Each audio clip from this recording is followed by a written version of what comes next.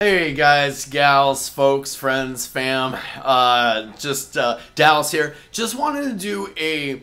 I think when I first started this channel out, I did a lesson on open chords for beginners, and I want to make a new video and uh, a new video for open chords and put some tabs up for it on the screen while the video plays to help you guys out with it. Now that I'm kind of at a little different place with it than I was a couple years ago when I started out. Um, so uh, yeah, let's just kind of dive right into it here. So um, I wanted to do this as a uh, open chords for beginners. So um, I recently, you know, I hadn't hadn't really been doing private lessons the last couple few years here, and I, I recently took on a couple new students. So um, you know, both are which at, are at a very beginner, they're young, haven't picked it up ever level. So I want to, it kind of made me think about how I've been really focusing this channel more on intermediate and people that kind of already play.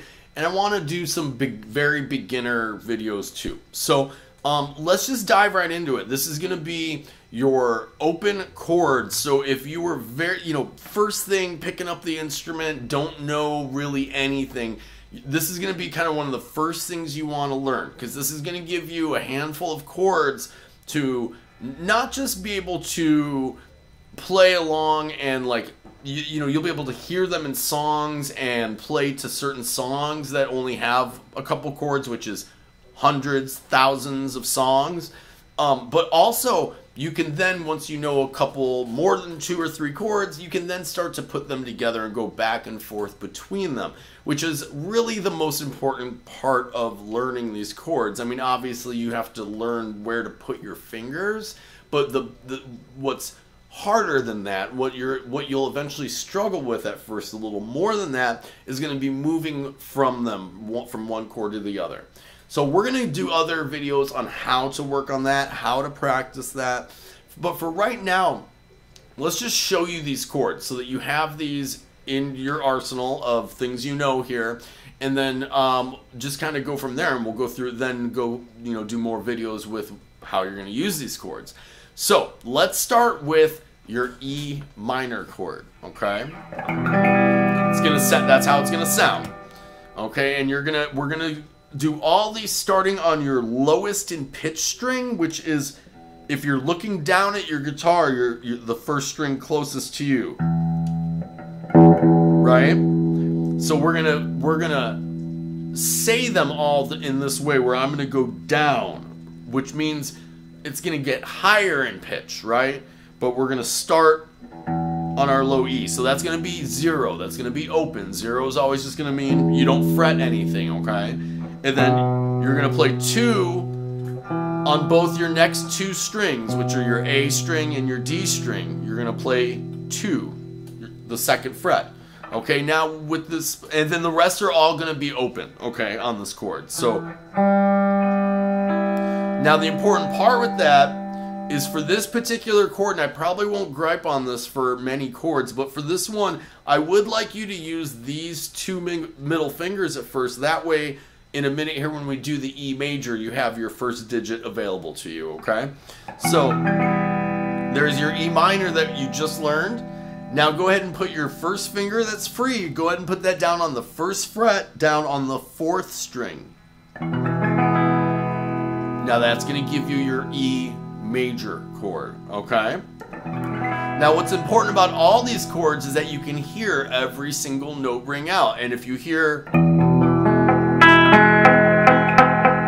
hear that, you don't want to hear that. You want to hear not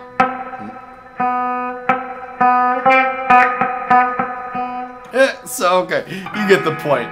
You got to shape your fingers so that they all sound nice and clear and pretty, right? Okay. So that's your E minor and your E major. Now let's do your D major and D minor. So D major, you're to take the your first two fingers, okay? And you're to put them on the second fret, on the sixth string, on your highest string, and on your on your fourth string. That's your G string. So you're to skip a string there, okay? And those are both on your second fret. On the third fret, you're to play that middle string. Your, that's your your fifth string down, right? You're gonna play that on your third fret and play the four strings that are the highest in pitch. Your four lowest in direction, highest in sound. That's why this gets confusing to articulate to you. I, I always struggle with that with beginners, is because as you go down in direction, you go up in pitch, right? So, okay. Um, so I'll try to, I guess what I'm getting at is I will try to let you know what I'm referring to. So now for your D minor chord, it's going to be real similar, but we're going to kind of have to switch these two fingers around. So you still have three on your G string, which is your third string, your third, and then your second string you still have the third fret. But now you're gonna back up on your on your on your high E string. Now you're gonna back up to the first fret here, and that's gonna give you your your D minor chord. Same thing. You're gonna play the four highest in pitch strings there. Okay. So that's your D major and your D minor chord. Now let's play your G major chord, which you can play this way I learned it this way, so let's play it this way. And then there's lots of variations on a G major. So that's going to be three on your low E on your first string, two on your next string on your A string. Then you're going to have open on your next two strings. You got to make sure you can hear those two notes. Then you're going to have three, the third fret, on both the two highest strings here. Got to make sure that whole thing rings out. Remember to try to pick each note in the pattern. So, or in the chord. So that way, if you do have a dead note, you know where it is and you can spot it. Because if you're strumming it and you just hear, you don't really know necessarily where that's coming from. But if you go,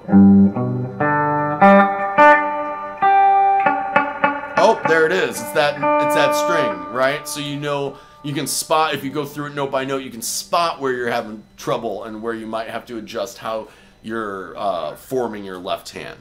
Okay, so that's your G major. Now let's play our C major. Okay, so now you're gonna you're not gonna play anything on your low E string on your first string. On your second string, you're gonna play the third fret. On your next string, you're going to play the second fret. Then you're going to have an open note on your on your fourth string. Your fifth string, you're going to be on the first fret. And then you're going to have another open note on your sixth string. And with this one, you don't play your lowest string, your E string. You just play these five.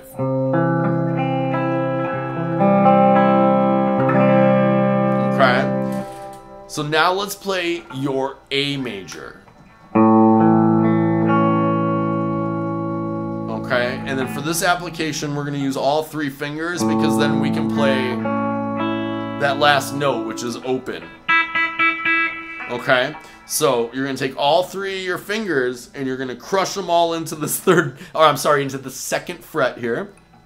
And you're to be putting those on your, you're to skip your first two strings. You're not even going to play your, your first one. The second one you're going to play, but you're going to play it open without a fretted note. And then the rest of those notes are all crammed in there on the second fret. And then your highest string you're playing open. Nothing. Now you can just take your first pointer finger and play a bar like that and just not play the highest string. And that's how I play my A major 90% of the time, okay? I don't usually need that high E. Unless I'm really going for a sound that where I want that in there. Um, more on that later. For now, you probably just want to do your A major that way, okay? Now, your A minor is all the same notes except on your second highest string, your B string,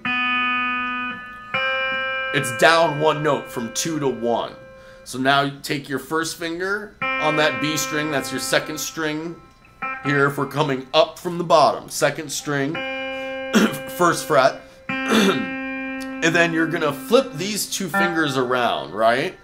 So in other words, you're not going to do it this way. That would be, you want to flip them around that way. So you want to play your middle finger on your third string going down on the second fret, and your third finger on the four on the fourth string second fret.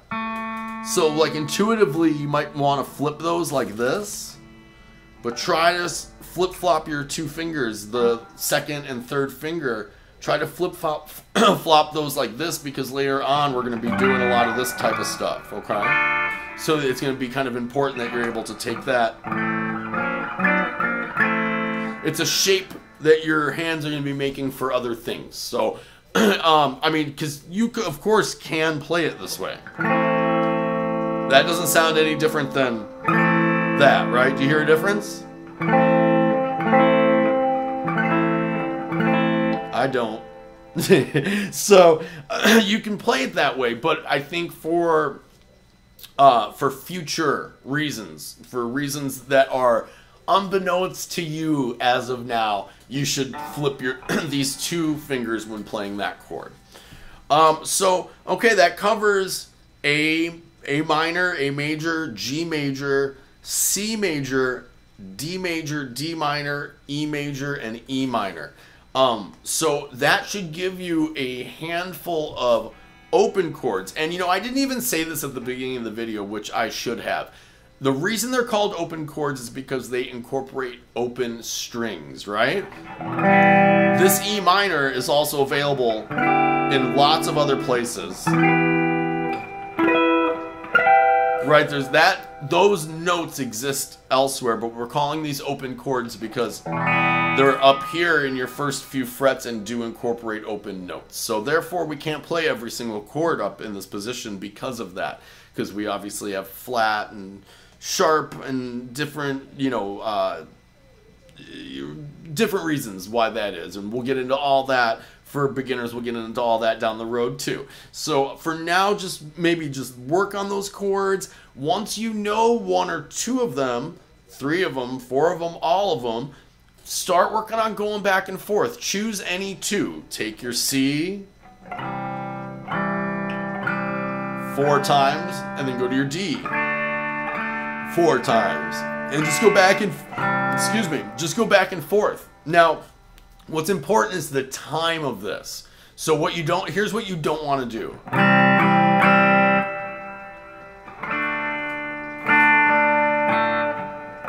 You don't want to fumble around with the timing when you're learning it. So if you're doing that, then you need to slow it down a little bit. So you want to keep everything in time at all times. So if you're playing that and you and you find that you can't switch fast enough, just give yourself more time to switch by slowing it down. So it might feel lazy to you while you're playing it, but when you get to the chord change, it gives you more time.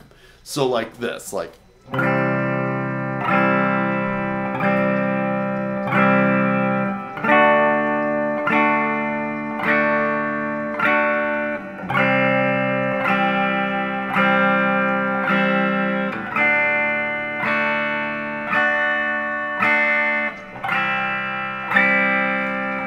so on and so forth, right? You don't want to have to right you don't if you're if you have to think stop and think then just slow it down a little bit because you always want to play everything in time. In fact timing is much more important than notes and you're going to learn that later on. So cool. Um i've probably probably already made this longer than i intended so i really just wanted to give a, a redo here on open chords for very beginning students who really don't know much else as of right now. And you just need to learn a few of what we call cowboy chords to get you going. And we call them cowboy chords not because they're used in cowboy music, but because every good cowboy needs to know these chords. Or cowgirl, whoever you are. So Cool. Um, hope you enjoyed, guys. Um, like, subscribe, share if you'd be so kind. I'd really appreciate it. Um, and uh, keep on picking. And if you have any questions, let me know. Love y'all. Later.